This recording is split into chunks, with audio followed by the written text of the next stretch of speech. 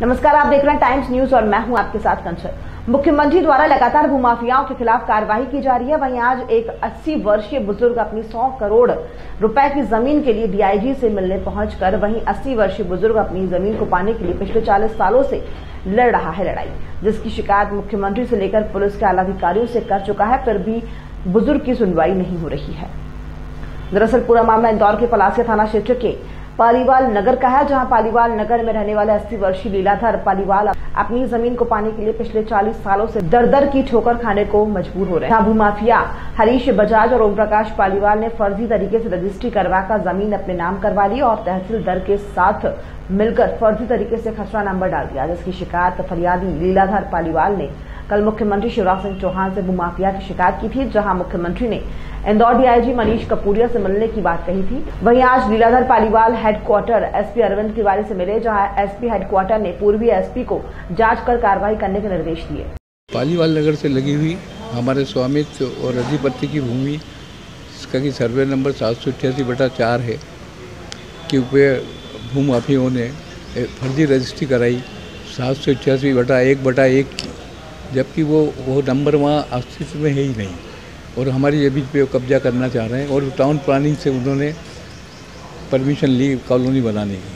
हमने town planning को शिकायत भी की कि केस चल रहा है सुप्रीम कोर्ट, हाई कोर्ट उससे लेके तो डिस्ट्रिक्ट कोर्ट तक में केस अभी पेंडिंग है। सुप्रीम कोर्ट ने हाई कोर्ट को भेजा, हाई कोर्ट ने डिस्ट्रिक्ट कोर्ट को।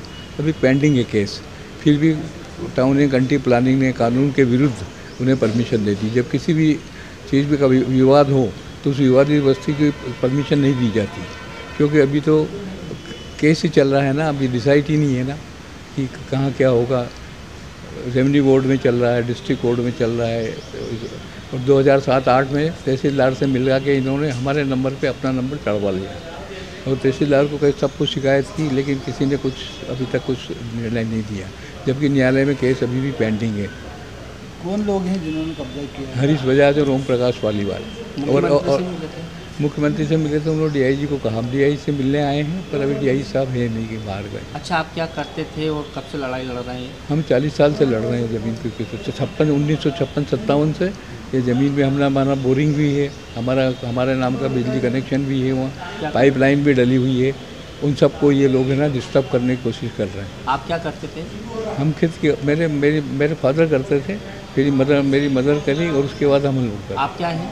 मैं डॉक्टर हूँ डॉक्टर लीलाधर पाली। अच्छा ज़मीन की कितनी कीमत क्या होती? अभी आज की कीमत जो उसकी हंड्रेड करोड़ के ऊपर है। भूमाफिया हैं दोनों? है दोनों भूमाफिया।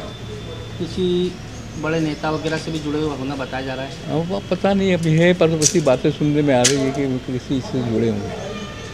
आपका नाम बता दीजिए मेरा नाम डॉक्टर लीलाधर पाली। हाँ अभी आए थे उन्होंने एक आवेदन दिया है क्योंकि उनका जो पलासिया थाना क्षेत्र में उनका वो पड़ता है। इसलिए आवश्यक कार्रवाई हेतु एसपी ईस्ट के कार्यालय भिजवाया गया है। संबंधित थाने से इसकी जाँच कराकर फिर कार्रवाई की जाएगी। किस मामले की शिकायत लेके आए कुछ उनका पुराना